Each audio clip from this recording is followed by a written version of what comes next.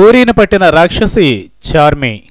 దర్శకుడు పూరి జగన్నాథ్ చుట్టూ తిరుగుతున్న డ్రగ్స్ కేసులో కొత్త వదంతులు వినిపించడం ప్రారంభించాయి.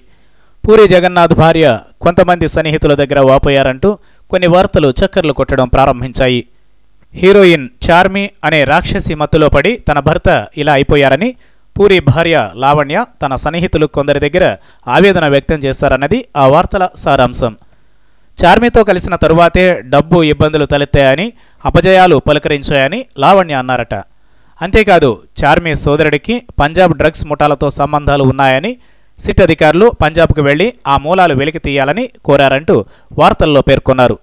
చార్మి మూలంగా తమ దాంపత్య సంబంధాలు కూడా దెబ్బతిన్నాయని తాను నిలదీస్తే పూరి ఇంటికి కూడా రావడం మానేశారని దాంతో ఇక తెగేదాకా లాగకూడదని తాను తగ్గిపోయానని లావణ్య పేర్కొన్నట్లు వార్తలు వచ్చాయి. పూరి లావణ్యలది ప్రేమ వివాహం కావడం గమనార్హం.